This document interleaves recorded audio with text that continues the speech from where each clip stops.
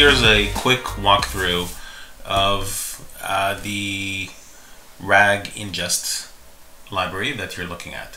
First of all, this has only two functions. It's very simple. Uh, function number one is ingesting a PDF and adding annotations. Function number two is creating debugging markdowns so you can see what information is stored in the output to JSON. The first function is the ingest. So if you run number one, you're going to be calling up the processor uh, for PDF ingest, which resides in this file. This is where we run unstructured I.O. Uh, twice. And here is the sequence. This is the main, uh, main part. This is where the work gets done. First, we partition the PDF in input PDF and that partition will create an output JSON that will get stored in 01 partition in your output folder. So uh, we're going to look at what that looks like in a second. The next thing is an opportunity to enrich those partitions. Um, in here I created an enrichment for, uh, let's see, where did I put the enrichment? enrichment, oh, here it is. It, the enrichment is sits in the enrichments Python file. And right now, uh, there is a placeholder for tables and text. This code will only enrich images. So what it will do is go through all of the elements in the partition file, partition JSON, and if it finds an image, then it will grab the image um, binary, send it to LLM for summary.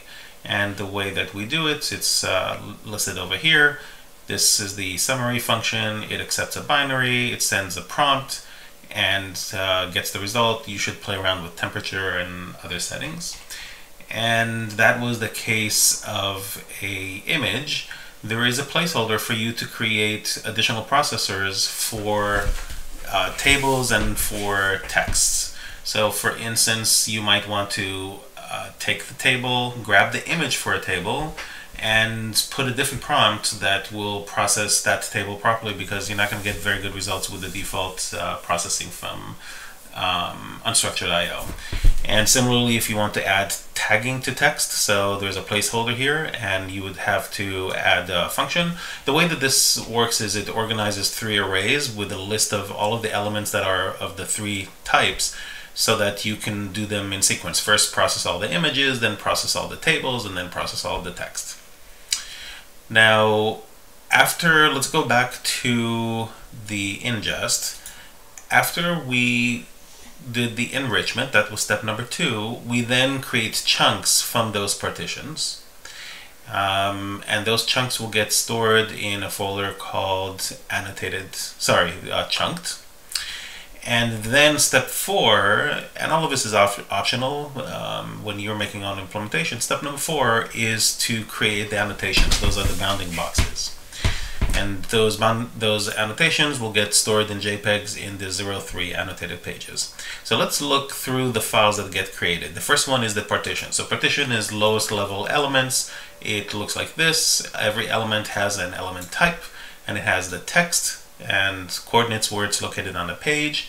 And if it's an image, you'll get the image binary. You should turn off word wrapping if you want to read this clearly. And you'll have additional data in the metadata. And here is a second element. This one is type narrative text. And it's also, it has coordinates and it has some additional information, etc. Now, uh, if you notice, this went through the LLM enrichment, so it already has a pretty robust description of any image or logo then and that that came from step number two when we after we partitioned we enriched. And then step number three was the chunks. So your chunks json again i'm going to turn off word wrap has a composite element and it will reduce so it will reduce your um, document to uh, a much shorter list of composite elements. And each composite element has in a binary um, where it's storing all of the original elements that were packed into it. And later I'll show you an easy way to see what's in this original element without having to write your own interim uh, um, inspection code. The next folder we said we create is an annotation. So the, the document that I ingested, I already ran it once, is this document I found online. It's uh, some kind of a uh, supplier contract uh, agreement and it has some text with links and it has a table, a lot of tables, and some more text. So if you look at the annotation folder, and I will open that up so you can look at it a little better.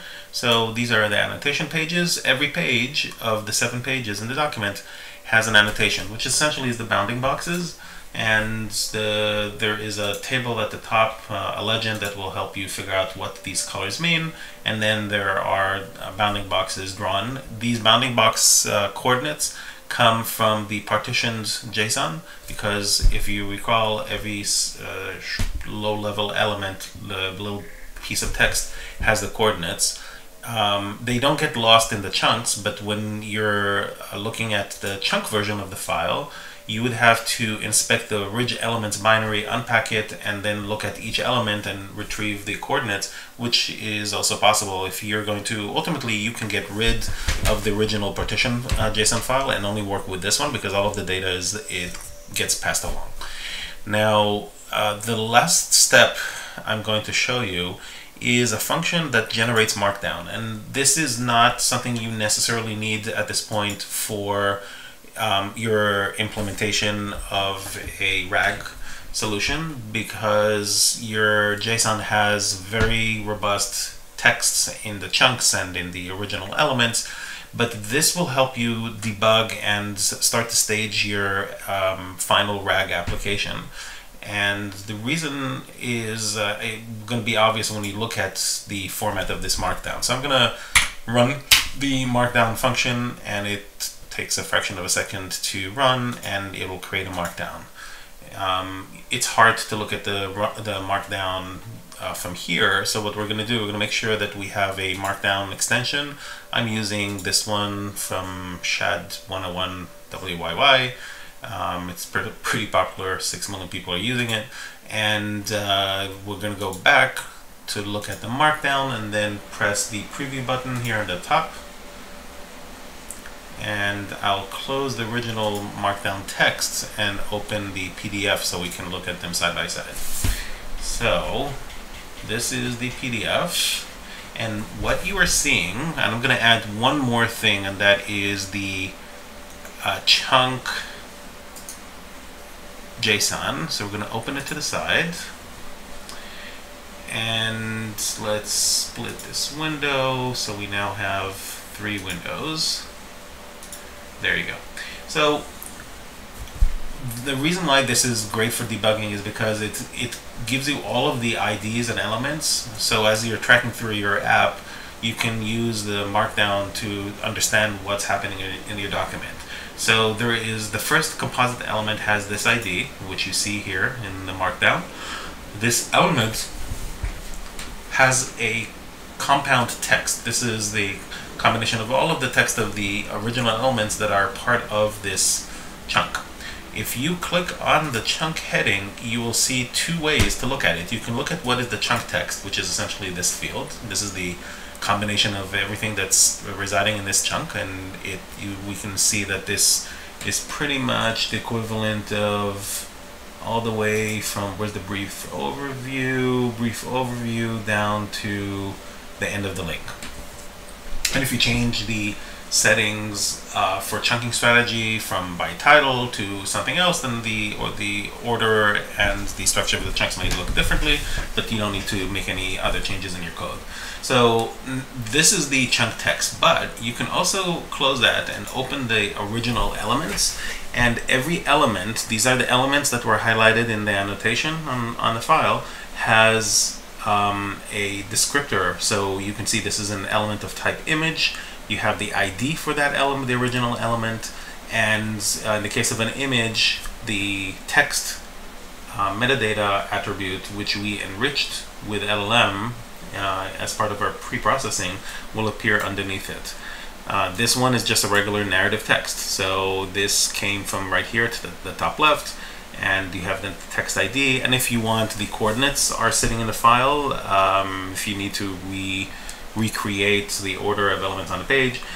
And um, as you go through every one of the original elements that is part of that chunk will show show up here. You can collapse it and you can keep on exploring your document, looking, uh, and once you finish a page, um, it'll break to the next page. So I can see that the first chunk on the, on the second page is this one that ends in A07. And again, what is the chunk text?